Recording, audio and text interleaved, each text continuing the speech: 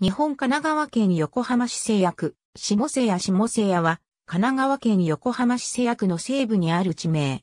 現行行政地名は、下瀬谷1丁目から3丁目。住居表示は、未実施区域。郵便番号は246-0035。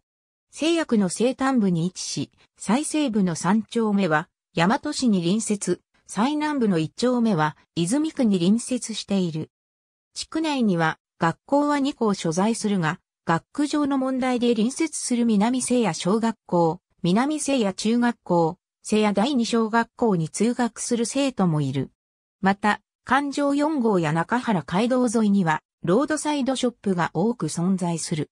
住宅地の地価は、2014年1月1日の工事地価によれば、下瀬谷3丁目31番23の地点で16万8000円平方メートルとなっている。昭和56年11月9日、設置昭和56年の町会町名、地盤整理事業の施行に伴い、瀬谷町の一部から新設した町。町名は地元の要望により、通称として定着していたあざ名を取った。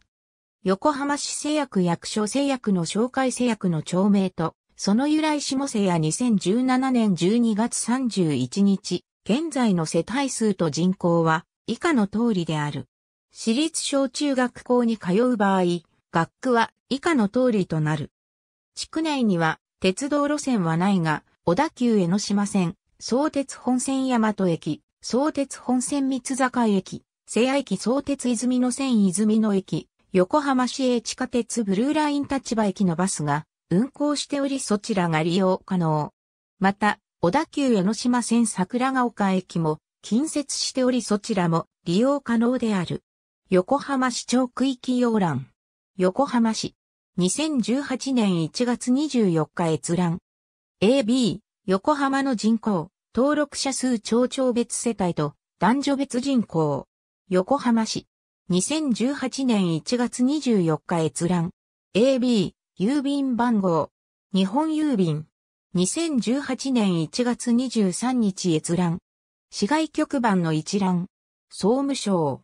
2018年1月23日閲覧。国土交通省地下工事、都道府県地下調査、小中学校等通学区域。横浜市。2018年1月24日閲覧。